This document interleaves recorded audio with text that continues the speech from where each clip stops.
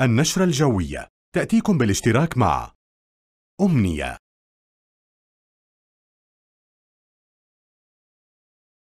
بنك الاتحاد.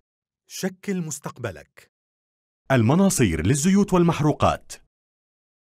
شركة بسطامي وصاحب وكلاء نيسان وإنفينيتي في الأردن. Leaders Center. كريم هايبر ماركت. المهنية للاستثمارات العقارية. والسعودي وشركاه للتطوير العقاري. متابعينا في الأردن أسعد الله أوقاتكم بكل خير. نرحب بكم في هذه النشرة الجوية الرئيسية من طقس العرب. نهار اليوم ارتفعت درجات الحرارة بشكل إضافي واستمر تأثر المملكة بالموجة الحارة. الناتجة عن اندفاع لكتلة هوائية شديدة الحرارة من الجزيرة العربية وأيضا من الصحراء الإفريقية.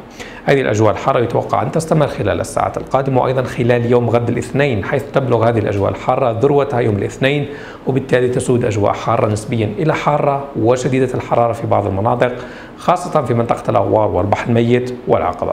تفاصيل أكثر نستعرضها في هذه النشرة لكن لا بأس نبدأ نشرتنا بصور الأقمار الاصطناعية الملتقطة خلال ساعات صباح اليوم.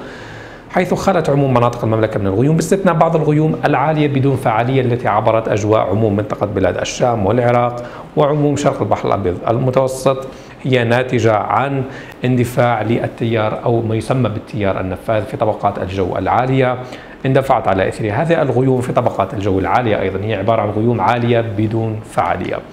نتحدث أكثر حول الأجواء الحارة وتوزيع الكتل الهوائية الحارة خلال الأيام القادمة من يوم الأحد وحتى يوم الأربعاء. هذه الخرائط توضح لدرجات الحرارة السطحية المتوقعة خلال الساعات القادمة وخلال الأيام القادمة. يوم الأحد تستمر الأجواء حارة خاصة في منطقة الأغوار والبحر الميت والعقبة. أما يوم الاثنين تواصل درجة الحرارة ارتفاعها لتبلغ الموجة الحارة ذروتها على المملكة. درجات الحرارة ستكون في منتصف الثلاثينيات في أغلب مناطق المملكة بينما تكون في بداية إلى أواسط الأربعينيات في منطقة الأغوار والبحر الميت والعقبة. أيضا الأجواء الحارة تستمر في العموم منطقة بلاد الشام أيضا العراق شمال المملكة العربية السعودية ومصر. وبالتالي هذه الموجة يمكن اعتبارها بأنها موجة حارة إقليمية تؤثر على جميع هذه المناطق. كما ذكرنا ذروة الأجواء الحارة تكون يوم الاثنين بإذن الله. يوم الثلاثاء تتراجع قليلا درجات الحرارة. لكن تبقى درجات الحرارة أعلى من معدلاتها لمثل هذا الوقت من العام. تستمر الأجواء الحارة نسبيا في عموم المناطق لكن تكون أقل حرارة مما سجلته يوم الاثنين. أما ليلا تنخفض درجات الحرارة هي ليلة الثلاثاء على الأربعاء لتعود الأجواء تصبح لطيفة إلى مائلة البرودة خلال ساعات الليل في عموم المناطق. فيما تواصل يوم الأربعاء درجات الحرارة انخفاضها لكن تبقى أعلى من معدلاتها مثل هذا الوقت من العام. وبالتالي تنكسر هذه الموجة الحارة يوم الأربعاء. وتعود الأجواء الربيعية دافئة في أغلب المناطق. التوقعات الجوية للعاصمة عمان خلال فترة السحور تكون الأجواء غائمة جزئيا بغيوم عالية بدون فعالية الملموسة 23 أما المقاسة تكون 24 الرطوبة منخفضة أما الرياح تكون غربية خفيفة السرعة وبالتالي السحور في الخارج سيكون ممتاز.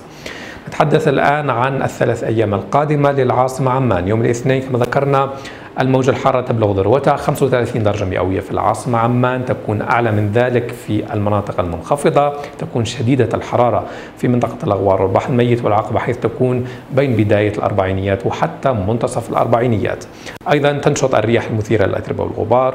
ليلا تسجل 24 درجة مئوية. يوم الثلاثاء تتراجع حدة الأجواء الحارة قليلا لكن تبقى درجة الحرارة أعلى من معدلات مثل هذا الوقت من العام. أجواء حارة نسبيا خلال ساعات النهار 30 درجة مئوية لكن تنخفض ليلا لتسجل 14 درجة مئوية. وبالتالي يمكن القول بأن الموجة الحارة ستبدأ بالانكسار تدريجيا اعتبارا من ساعات مساء يوم الثلاثاء. يوم الأربعاء تنخفض درجات الحرارة لتكون 25 درجة مئوية وبالتالي طقس ربيعي دافئ خلال يوم الأربعاء لكن تبقى على من معدلات مثل هذا الوقت من العام. أما ليلا تنخفض إلى 13 درجة مئوية. كان هذا كل ما لدينا لحد الآن إلى اللقاء. النشرة الجوية تأتيكم بالاشتراك مع أمنية.